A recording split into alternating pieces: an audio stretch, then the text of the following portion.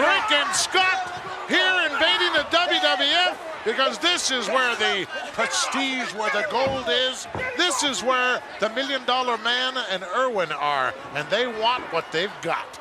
Well, they rule the roost, Money Inc. You know, I've heard a long time about the Steiners. How big they are, how tough they are, how bad they are, how unpredictable they are. Oh!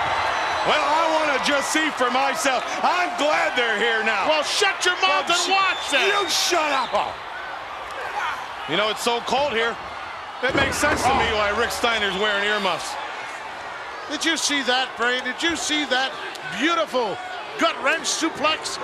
Yeah, yeah, I saw it. Earmuffs? What are you talking Got about? earmuffs on. Earlier on, we had a chance to talk to Rick and Scott. You know, the WWF is a lot uncharted waters for my brother and I. There's a new sea of sharks out there. Well, me and my brother got something to prove. You know, Beverly Brothers and the Royal Rumble, you're gonna find out what the Steiner Brothers are all about. And they won't like it. Can you imagine raising those two?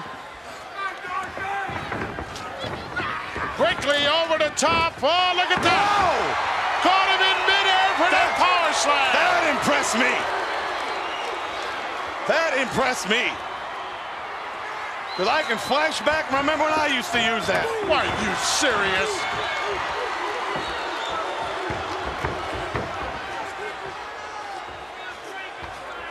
Tremendous athletes.